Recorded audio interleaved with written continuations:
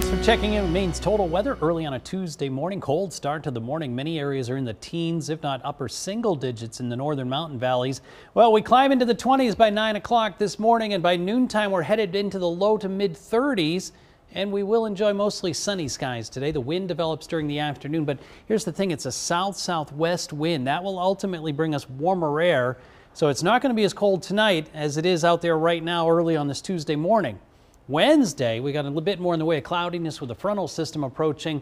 That will ultimately give us a shot at hitting 50 degrees. Not today, though. We're going to be in the upper 30s. We'll enjoy the sunshine. You can see tonight we're mainly clear at the start. And then here come the showers early tomorrow morning.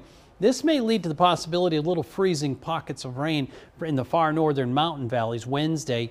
During the afternoon, we'll get back into the sunshine. Thursday looks good and uh, pretty seasonable as far as temperatures go. So it's up and down as far as the numbers.